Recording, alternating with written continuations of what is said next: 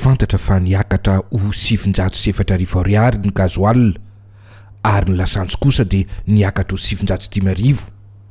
Efa ela hono no tokony nakarina raha ny filazan'ny fitondram-panjakana.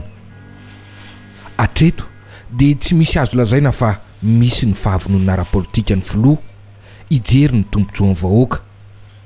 raha ireo dinika nataony tamin'ireo fikambanana samihafa sy ireo vondron'ny mpandraharaha ny solika no jerena. Saika mizaka ny olana mitovy amintsika Malagasy daholo ireo firenena afrikana manoloana an'ity fidangan'ny vidin-tsolika ity vokatry ny ady atsy Ukraine. Fa na izany aza ny eto amintsika dia ho sarotra amin'ny Malagasy ny miaina amin'izany. satria tsy mifanaraka velively amin'ny fari-piainana, ny karamany tsy ahitana fiakarana be loatra. Mbola maro ireo mpiasa amin'ireo orinasa tsy miankina no milaza fa tsy mbola nampiharin'ireo mpampiasa azy ny mari-karama napetraky ny fanjakana ambany indrindra. Ny vidin'entana amin'ny andavanandro anefa dia efa tsy zaka talohan'ny fiakaran'ity vidin-tsolika ity. Eto dia miantso ny fitondram-panjakana hijery akaiky ny sosialim-bahoaka, indrindra ireo entana teny ilainy amin'ny andavanandro.